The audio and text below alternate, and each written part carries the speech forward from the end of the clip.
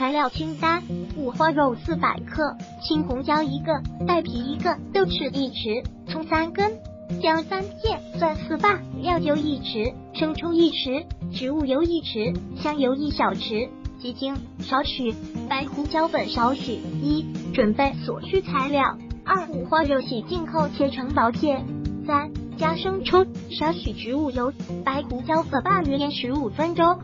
四、青红椒洗净后去蒂切成条。五、炒锅里倒少许植物油，油温七成热时放入姜、蒜爆香。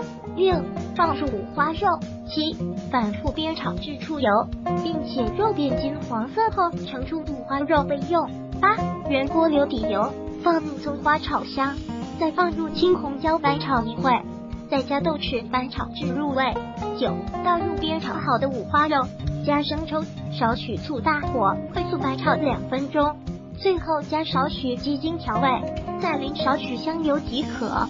小贴士：回归小贴士。如果担心刀工不好，五花肉会切得太厚的话，可以放冰箱里冷冻一会再切。